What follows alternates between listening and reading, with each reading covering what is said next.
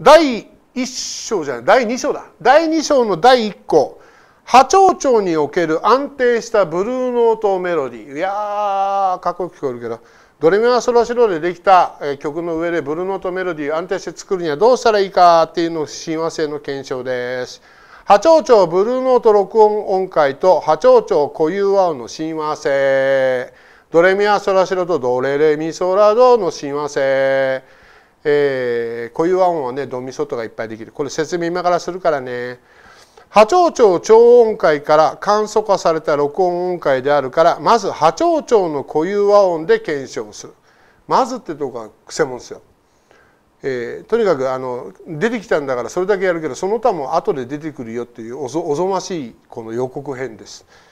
えー、波長長固有音階は波長長超音階上に音階上の音を縦に一つ飛びに並べたものである。ドレミアソラシドの各音をお団子串刺し状にして縦に並べたものです。ちょっと聞いてみましょう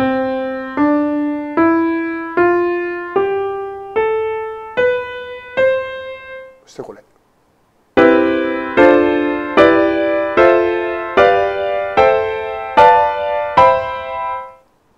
はい。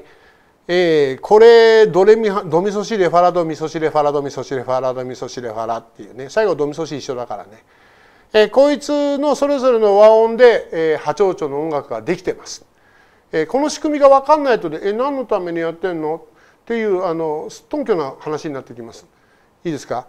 えこの中のそれぞれの和音についてブルーノートが使えるかどうかっていうのが大切ですから和製進行法とかダイアトニックとか何言ってんだかちんぷんかんぷんだって人は申し訳ないけどググってくる、ね、ググって調べるか、えー、昔買って埃をかぶってる理論書を引っ張り出してきてはあそうだったんだ。大体ね人が一番興味持たないのがねあの和音の構築みたいなのすごい興味持つんですよメロディーの構築法とかね。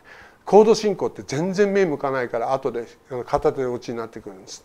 えー、プラモデルを先にね概略だけくっつけて塗装を後からやろうと思っても中塗れなかったみたいなことになっちゃうんで、えー、何が何でもこの辺から始めたいということでございます。えー、省略表示について R はルートの省略 A はアボイドノートの省略コードトーンは単音程で表示します。えー、コードトーンは1357とか1356テンションノートは副音程9、11、13とかで表示します。で、X はスケール概要音。これ X がついてたらまずダメよっていう話です。で使えません。スケール概音でもブルーノート音は特性音と表示します。えー、それで主音は、えー、波長長主音上の和音である C 音を表すっていうんで、まあもうさっきから言ったお父さん。お父さんは大丈夫よ。ね。はい、フラットナンス音程についてはさっき口々って言いましたよね。えー、ブルーノートの特性音と和音との間にできるフラットナンス音程は問題ない。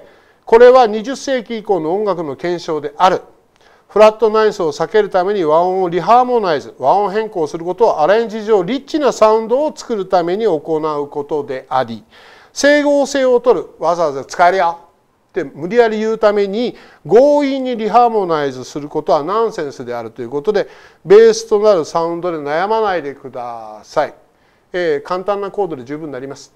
えでは、えー、この続きはこの後からにしましょうね。全体像ここまで。